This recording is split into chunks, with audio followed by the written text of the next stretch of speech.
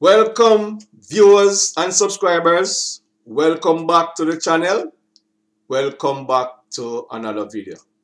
So let me take the time out to say maximum respect to those of you who have subscribed to the channel thus far, those of you who have taken the time out and watched my videos, and those of you who have commented on my videos. Enough respect for that. Now, as you can see, based on the topic of this video, I am going to address a frequent question that have been asked of me from time to time. And many of you may come to the realization that I reside in the country of America, the United States of America, in the states of Pennsylvania.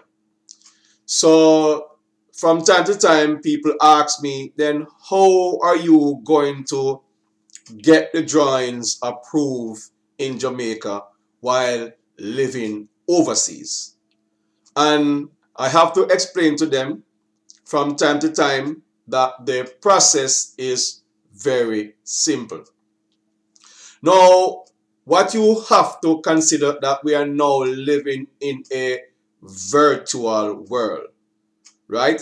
You can stay here and in a meeting with somebody in the Far East, in England, in Africa, all over the world, right? So, so, so one, to begin the explanation is that when you contact me to do a billing plan for you, the first thing I ask of you is to furnish me with the title of your land. So I have to establish proof of ownership.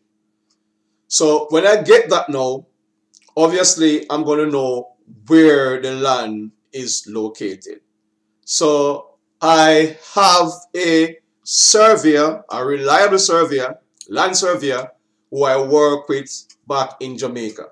So let's say for argument's sake, you tell me, or the title tell me where your land is located in Jamaica.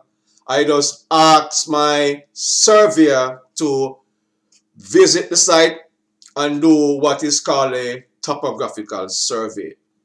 Now, in the discussion between you and I, the clients, if you tell me that your land is flat or reasonably flat, then you know, depending, I won't bother to get the serve the, land surveyor involved because I know that is going to be an additional cost. But from the minute you tell me that your land is slope and slope to the point where you cannot determine the height of slope, then I have to get my land surveyor involved for him to do a topographical survey. Now, the second question they ask of me is then how you're going to design the building and you do not see the surrounding areas.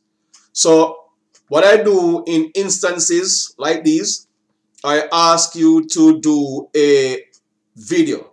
And most of the time that people get in touch with me, they have already know what type of building they, building they want. You know, where, where they want the balconies to locate it, locate, uh, how they want the bedrooms, the bathroom, and so forth.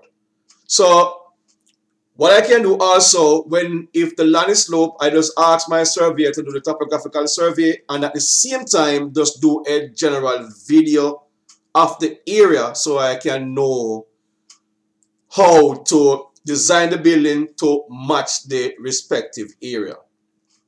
When it comes to the approval, or getting your plan approved at the local municipal authority.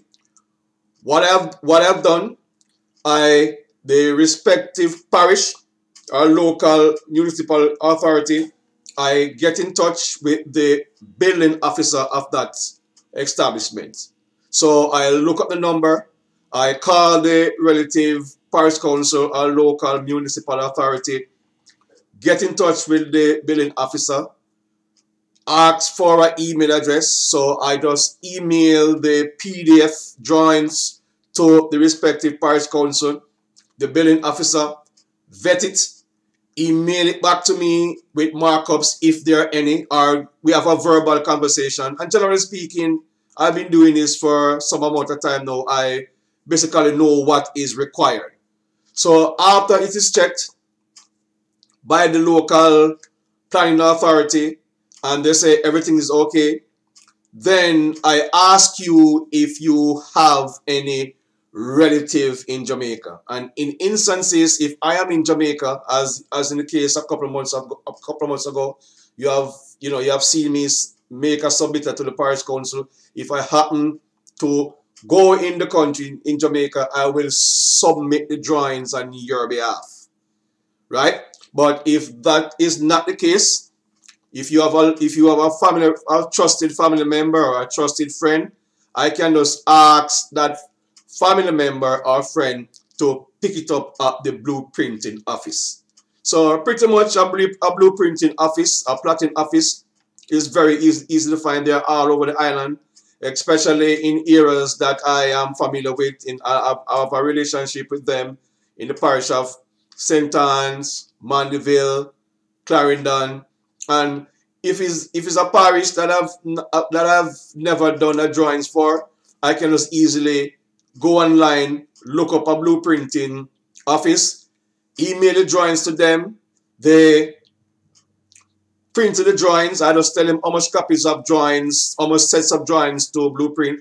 Have your representative in Jamaica go there, pick the plan up, and the person can take the set of drawings to the respective parish council.